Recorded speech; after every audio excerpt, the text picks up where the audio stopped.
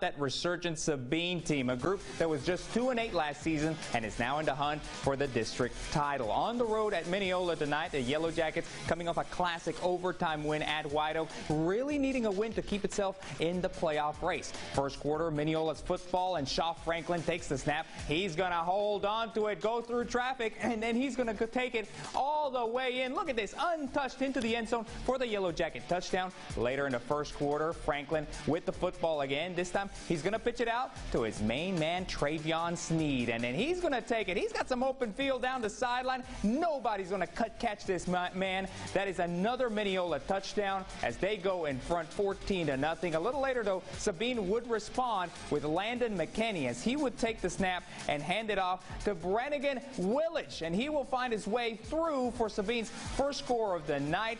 But it is the Yellow Jackets who go on to win it 28 to 10 over the Cardinals. They are 2 and 2 in district play and yes, Luke, coach Luke Blackwell, it looks like the postseason is certainly a possibility.